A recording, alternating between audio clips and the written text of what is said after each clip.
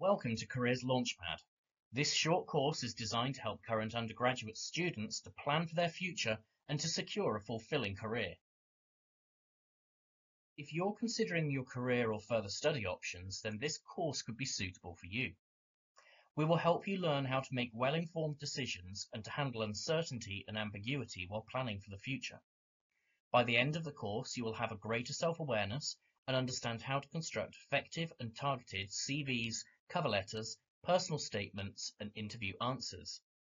Essentially, we'll help you develop the confidence to launch a successful career and to land a job or postgraduate course of your choice.